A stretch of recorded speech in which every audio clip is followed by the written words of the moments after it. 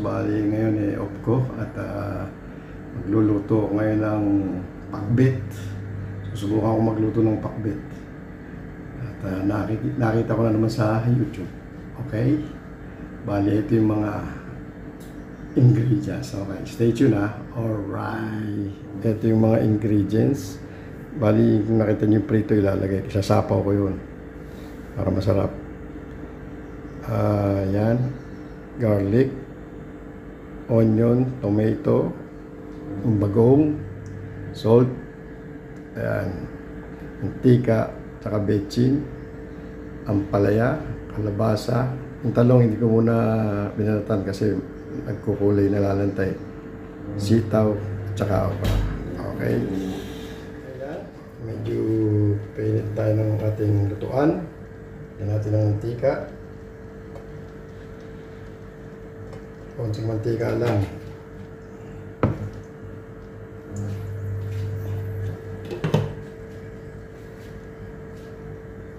Ayan siya. Okay, pag mainit na siya, lalagay natin yung sibuyas.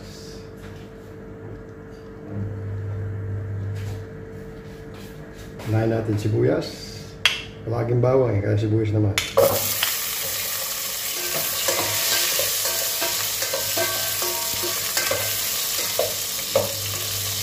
Satay lang to ha. Bago sunod natin lagay yung sibu ah, bawang.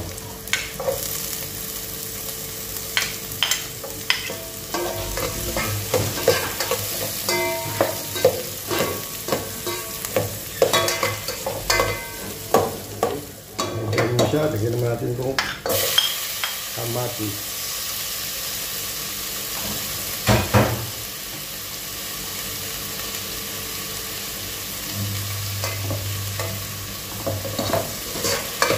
Bali, sosotay din natin to mga 20 seconds. Hindi, pag nalanta na yung kamatis.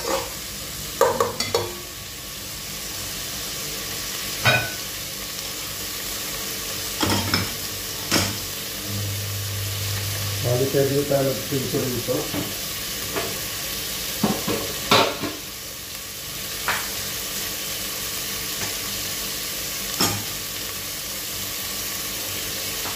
Okay. Ano na siya? Susunod natin lalagay. Mag-ayos na. Nag-isa nung lagyan natin itong bagoong. Dapat lalagyan ko ng hipon kaso gantindang hipon. Kaya ito na lang.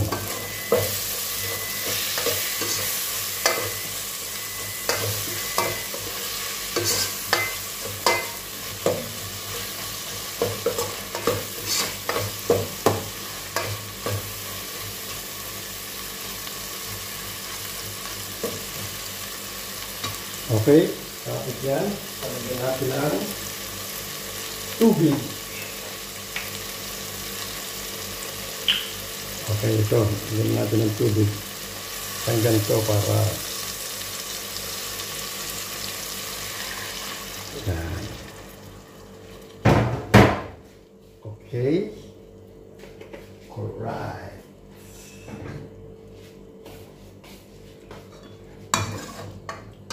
Siya. Tayo lang natin kumulo para lagay na natin yung mga gulay. Alright. Okay, mukulo na siya. Bali lalagay ko na itong kalabasa. Bali lalagay ko na lahat ng mga sahog. Kasi matitigas ito eh. Palaya.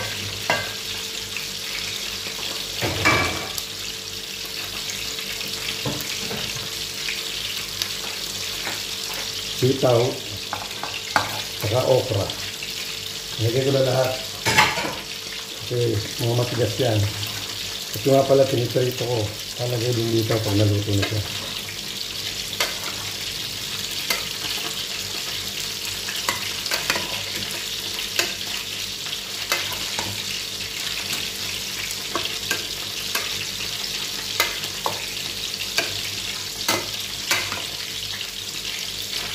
Okay, takpan lang muna natin hanggang sa lumambot sila.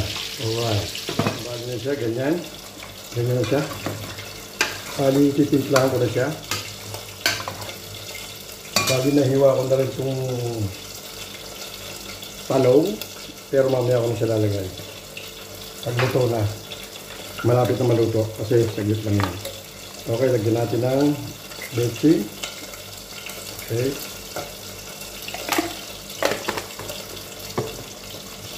Tapos itong asin.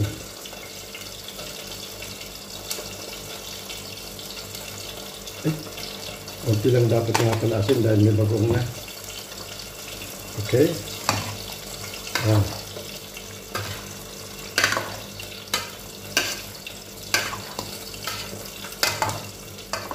natin.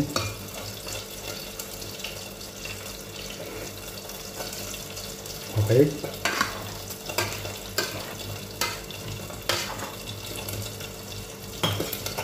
Ulit natin. Bali, ito na siya. Medyo maano na siya. Malambot na ng konti. Ngayon lang. Siguro pwede mo nang ilagay itong talong. Alagay ko na itong talong natitirang ingredients. Ito natin baka meron ano. Eh, mabait. Hindi mabait. Yan yung sira.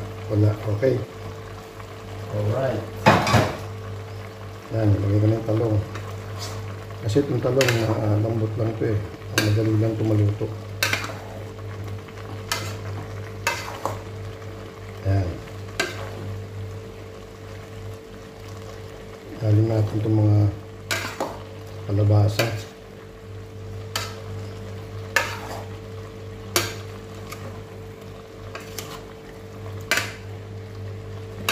Okay. Mm. Sarado uli natin.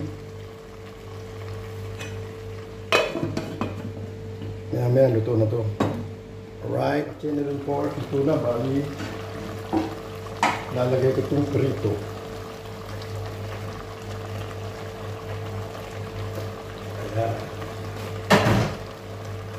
Okay siya. Ayos na siguro yan. Malambot na yung mga ano.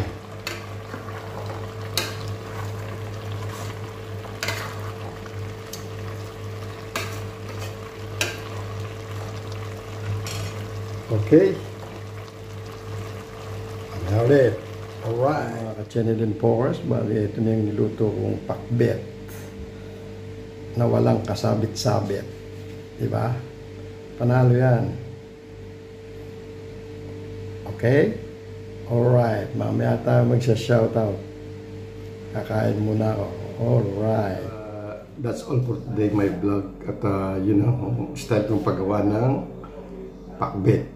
Okay naman, masarap. Kasi binigyan ko yung mga kasamahan ko, okay naman daw.